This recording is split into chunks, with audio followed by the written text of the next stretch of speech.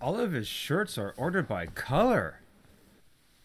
All the blue ones together, all the white ones.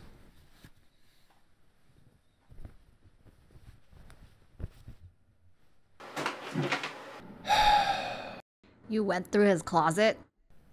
Of course I did. He has two pairs of lederhosen. Can you imagine Carl in leather shorts?